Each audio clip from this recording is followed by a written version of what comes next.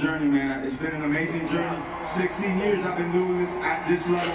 I want to say hello to my daughter Ava, my son Macho Man, Yeah, I was gonna tell you and one. Jade. I wasn't Go ahead. You to can watch tonight it 'cause I free. had You go I love y'all. up Be there one soon to flight. celebrate. If you name it. Across the way, man.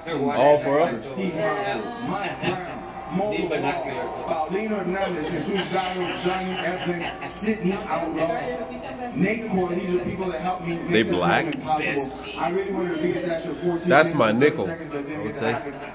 Whatever. Now back to business. I don't want to say nothing about Ben, so don't ask me nothing because I got nothing nice to say. So my mother told me if you don't got nothing nice to say, don't say it. So we're gonna skip Ben questions.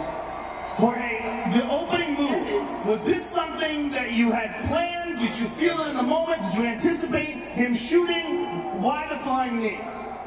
Cause he's a bum. But you, but let's take a look at it here. Did you know there. that he was going to try to duck down? Because as you time that, I mean, that is as perfect a flying knee as has ever been executed on planet Earth.